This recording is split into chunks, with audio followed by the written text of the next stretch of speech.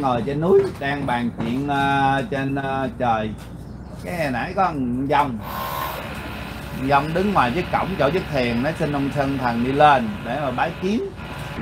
Thì cái uh, kêu nó đứng dưới chờ thì mới biết ra là nó vừa mới chết. Má nó khóc nhảy cà đạch cà đạch trong bệnh viện. Thì cái hồn nó đã tới núi rồi. Rồi cái nó nói uh, bắt kìa gọi cho mẹ con giùm nói mẹ con đừng có buồn con đi về trời rồi đi theo phật rồi. Mình cũng không biết mẹ nó là ai nữa. Cái à, nói tới luôn hỏi mẹ con là ai vậy?